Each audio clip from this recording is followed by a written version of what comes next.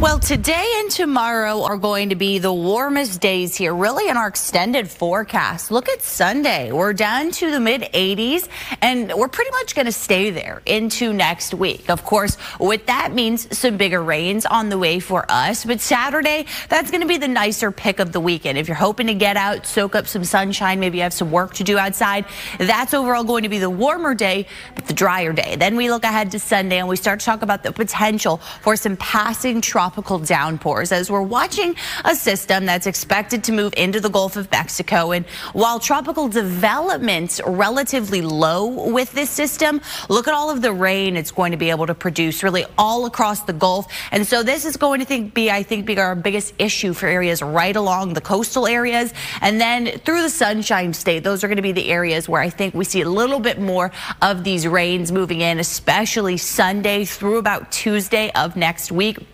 Those are going to be the days where we have the potential for some widespread rain and some locally heavy rain, especially for areas to the south of I-4. So it's really going to be central and southern parts of the state that I think will see the heaviest rains on the way. And this is why we're talking about this area. You've probably heard us talking about it for the last week or so. There's really not been a big change in the outlook from the National Hurricane Center, still calling for a 40% chance of this to develop. So while the odds odds not necessarily there that we'll see a name storm or a tropical storm. It is going to bring some big rains for us over the next couple of days. So especially as the rains get going, this deep red color here, that's where we have that tropical moisture. And notice that's really going to be right along Tampa Bay and to the south of the state. That's where we have the potential for some heavier rain accumulations. But really with the latest kind of runs, it does look like the heaviest rain and storms at this point remain over the Gulf. But as we look at our next five days, Generally dry out there on Saturday. Look at how that changes Sunday and then through about Wednesday of next week. Notice those bright red orange colors that we have kind of just south of I-4, just south of Bay areas.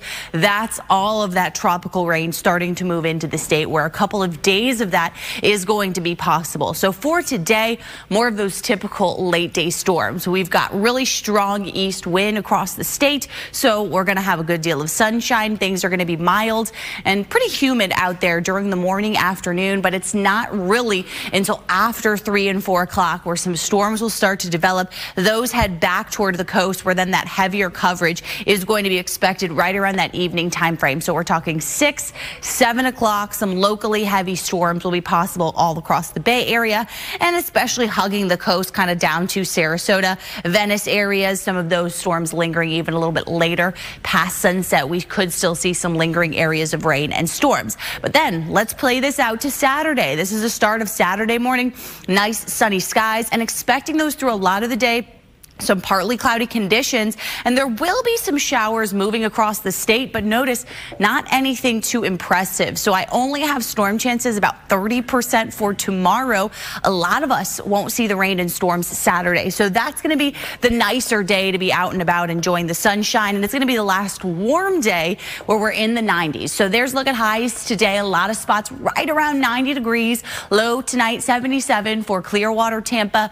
Low 70s as we get further away away from the coast. Checking on temperatures for your Saturday. That'll be the last day where we top out right around 91 in Tampa.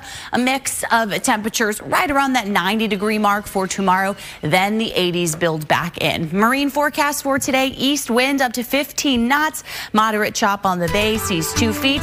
Then a stretch of 80s starts Sunday and hangs on through most of next week.